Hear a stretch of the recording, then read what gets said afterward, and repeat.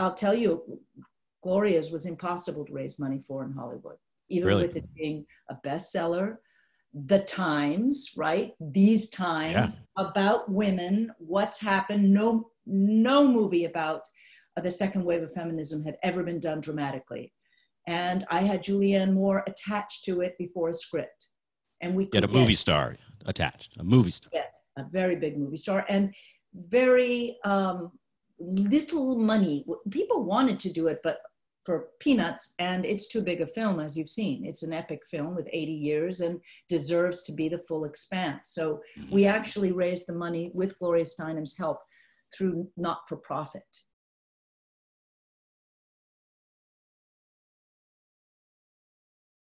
it is a road movie. It's not a dramatic movie. It's not a dramatic book, My Life on the Road.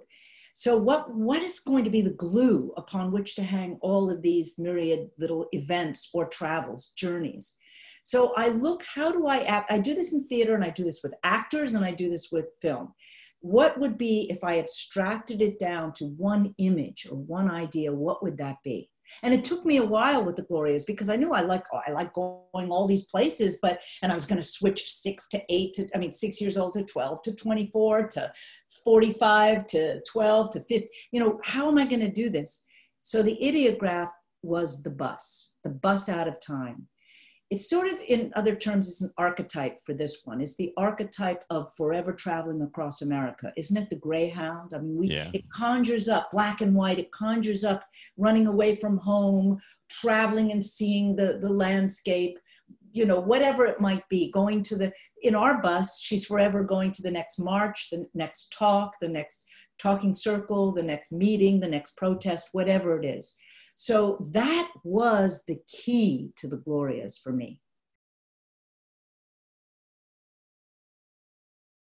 How do you decide when to use practical effects and when to use VFX? I would always start with can we do it practically? Always. What can we do in camera? What can we do practically? So the scene in the Glorias. So this is all just lighting and dollying, and we speeded it up and tried to smooth it because it's pretty crummy.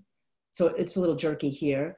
But we added smoke to this. We added that's a real door opening. That's real fans going. She that's Alicia in costume. There's nothing, there's, you know, probably there's some more smoke there. Um, obviously, because of the sound the machines, all of the speaking had to be done in post. This is wires on her hat flying up in the air. Literally, we took the wires out, but those are wires. This is a fan below her dress. This is all practical, nothing visual effect about it. This is all CGI. Now, the little girl obviously is on a wire, and we made this happen. We had her on the wire. But, uh, and the man we put on a wire too. But they're individually on wires and green screen. And there's no, this had to be. I wanted, I actually wanted, not tacky or cheesy, but I did want to reference The Real Wizard of Oz, the movie, because I loved it. So I wasn't, if I put, when I had this in black and white, it was almost too real. So I put the color tone on it, and then we had to keep going in, see the color on him, the white shirt on him. This took a lot in post to try and get the balance because the women I wanted red, but he I didn't want red. You know I mean? So, and this is not from the book. This is from me. and Gloria is fine with it because she feels that, you know, of course it should be from me. I'm a woman, I'm the director, I wrote the screenplay or co-wrote the screenplay. It's my feeling, you know, I I, I wanted to liken this to um, every woman, including Kamala Harris last week when she was with Mike Pence, when she was sitting there smiling as he kept talking and talking and talking, I wanted to see the little bubble in her head. What was she imagining? She she did. She said, "I'm going to make a fly go and sit on that white head as if it's shit in a graveyard. That's what I'm going to do." And she's going to smile. I mean, to me, or Hillary Clinton in that incredible um, debate last uh, four years ago when the Orange Giant was stalking her behind her. What was in her head? What do women not say? Because they know that the big B and W word will come out because they've just said too much. So you see how Gloria smiles and she says, Mine is my uniform, you know, Julianne Moore. It's much more comfortable than that thing with that tie that's pinching your no, you know, your neck. And you know, she says very little. And yet what's inside, that's where film to me can can tell a whole nother story. It's another story. So i believe in the objective experience and the subjective.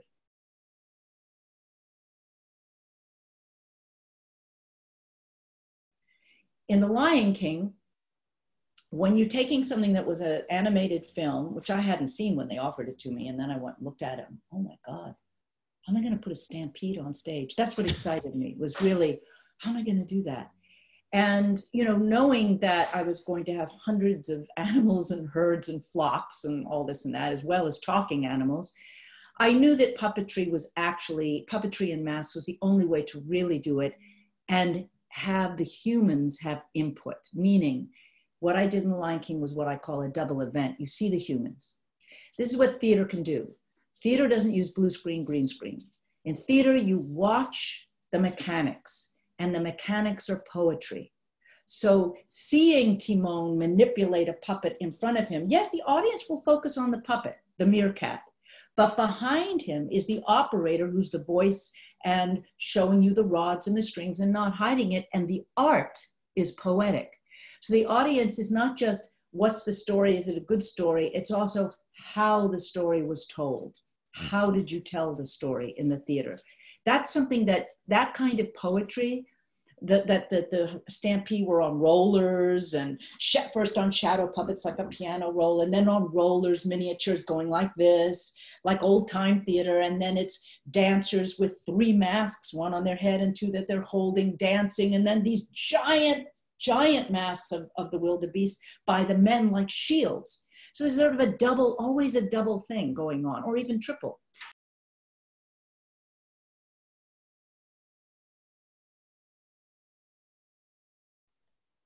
the very opening of Titus. he he is young Lucius. He is a character, and Titus is his grandfather. Um, but in the beginning, I wanted to show that this this film actually, and what what Shakespeare has done, is the greatest dissertation on violence that I've ever seen that has ever been written in my estimation. I mean, even Tarantino, they're all like, holy shit, what is this? If you read it, it shocked me when I read the play. So, what I wanted to do, because I think Shakespeare is um, contemporary for all times, what you have in that opening is kind of like Kosovo. I mean, I remember at the time it was the Balkans. I said this could be a, a, a this could be a, a kitchen anywhere um, in Eastern Europe or wherever it might be.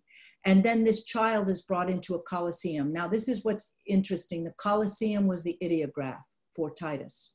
The Colosseum is the original theater of cruelty. It's where violence has been um, organized. People pay to go. They are there to see the most heinous, violent acts. Uh, but what I do in the movie is I blend time.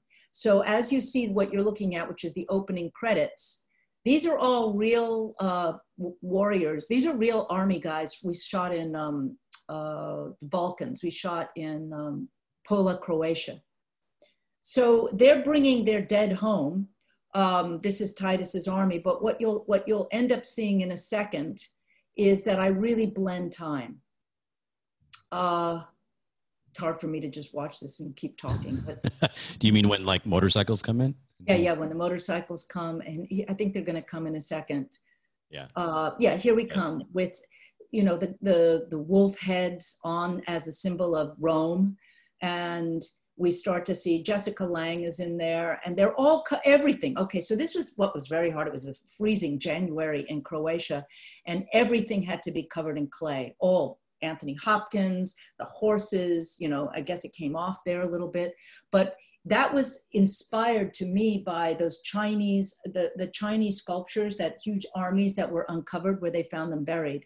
And yeah. I found that the clay would be the common denominator there to make it to make it transcend time.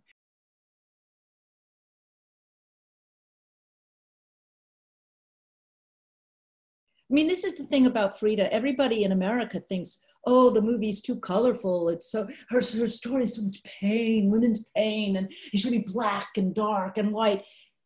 Look at Frida Kahlo and look at her paintings in her house. The way that you deal with pain is to paint color is to wear red, pink ribbons, is to have flowers everywhere. So it's a complete misunderstanding of Mexican culture if you think it should be all gloomy and dark and tortured. That's American. That's American. My favorite part is are the paintings that come to life. Yes. Every time I watch it, I just I it's amazing. So can you talk more about that? About how you guys did it? How did it come? How did that idea come about, and how it was actually done? Well, you know, I think it's very hard to make a movie about a painter, most of them, because a lot of painters are abstract or it's interior, but Frida is not. She put herself into her paintings. So for me, it wasn't just to make paintings come alive, it was because that's the storytelling and to her love story. To me, it's the love story more than the paintings that I found really so touching and moving and important, especially for our culture, American culture, which doesn't understand that kind of love, which is not just about who are you fucking, but who do you really love? Who is your partner? So I, uh, that's what got me. And the paintings are amazing. I had to learn to appreciate them doing it more than I, I became, I fell in love with her as an artist while I was doing it, not ahead of time.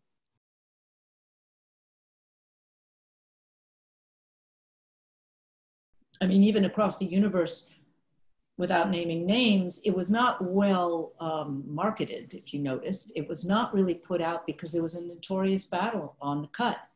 And, uh, and it was not because it, it was like, it was, it was, it was so weird. It was, we smell the money. It wasn't because they didn't think it was working. It was because if we dumb it down a little bit more and get rid of the, black people in Detroit and get you know just have them be background music. You can tell my feeling about all this. And if we don't have the lesbian, but she just shows up, she doesn't sing. Uh, I want to hold your hand. We just she just shows up and we and we don't have Lucy B. So we don't do Washington D.C. It's too much politics. Then maybe we'll get 14 year old girls to like it. And I just, you know,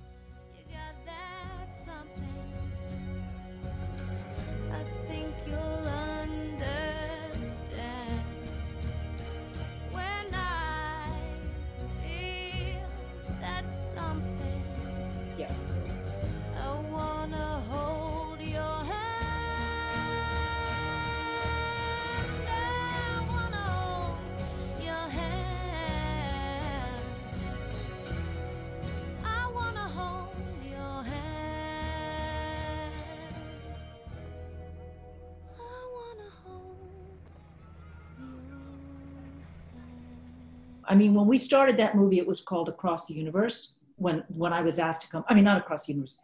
All you need is love. And from the get go, I said that is not.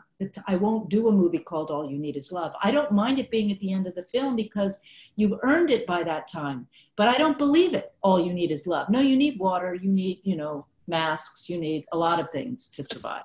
You don't just need love.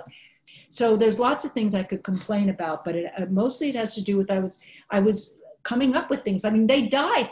Our first day of shooting on Across the Universe, I had naked women covered in white paint like Butoh, Vietnamese ladies floating on water and falling oh, yeah, back. Yeah. That was not in the script the way that it, you know there were things that were not you can't write what's in that movie in the script completely.